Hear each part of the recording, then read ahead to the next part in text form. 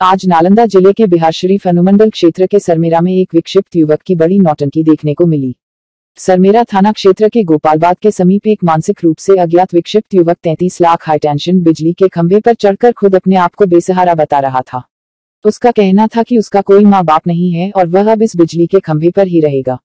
इसकी सूचना मिलते ही बिहार शरीफ सदर डीएसपी डॉक्टर शिबली नुमानी हंगामा स्थल पर पहुँचे और एक टीम बनाकर बड़ी मशक्कत के बाद पोल से नीचे उतारने में सफल हुए। बिहार शरीफ नालंदा से देखिए एक्सपर्ट मीडिया न्यूज़ नेटवर्क की यह वीडियो रिपोर्ट। नंगटी चिकू सिंह। चिकू सिंह? मेरा उतर बाव नहीं तो बड़ा बाबू बदनामी हो जितो। आ जाए छोटू! अच्छा बड़ा वो इतनी आप गिरती कहले हाँ? मोबाइल में उनका डिस्चार्ज हो गई। जी वो फ़ोन में करथी ना लागे। कखन मोबाइल में डिस्चार्ज हो गई